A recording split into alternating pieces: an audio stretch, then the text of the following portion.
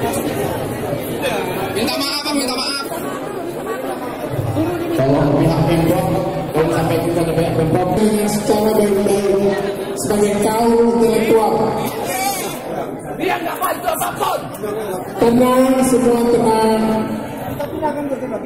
Tenang. Sebagai manusia ada kesalahan yang akan datang. Secara terbuka pak. Jadi, artinya langkah per, panggil orang itu, saya sudah bilang tadi, kamu baca ini. Makanya saya bilang jangan ada yang tadi. Biar dia yang mengklarifikasi. Tadi saya sudah kasih konsep. Kamu begitu. Bagaimana, Pak? Oke ya, sepakat ya. jadi langkah pertama kita minta maaf yang turun, yang kedua kita kita mau Ya. tetap ada dan kalau ada harapan kita ke depan kita menentukan. Oke? Ya, eh, karena ini kan sebetulnya acara intinya dari kami ya.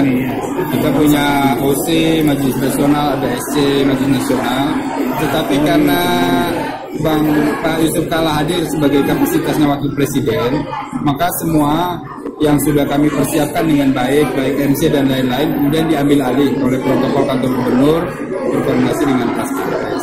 Nah, kita tidak tahu apa yang terjadi, tapi pada prinsipnya kami mengharapkan agar ada kesalahan-kesalahan kecil ini beliau yang berkoordinir tentu dari protokol kantor gubernur meminta maaf kepada seluruh eh, jajaran peserta yang hadir dari seluruh Indonesia karena memang ada sedikit kesalahan yang ini berdampak terhadap hati eh, dari seluruh eh, perwakilan yang ada di Indonesia. Kami ingin Rakornas ini sukses, damai, baik.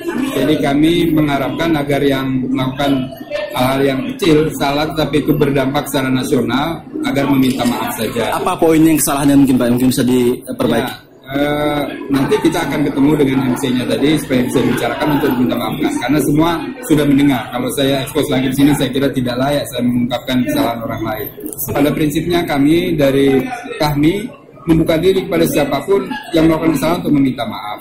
Dan kami ingin Rakornas ini betul-betul eh, berjalan dengan baik, jangan diganggu pihak-pihak lain maupun siapa pun baik dari internal maupun eksternal untuk sama-sama saling menghargai. itu bagian skenario nya. Udah ini eh, radio kecil, radio besar, kita harus lebih bijak menghadapinya, mungkin melalui bentuk lain. Oke bang? Iya, sudah bekerja kita paham. udah sukses. Udah ada Belum, udah bang ya? Kita ini, kita ini apa?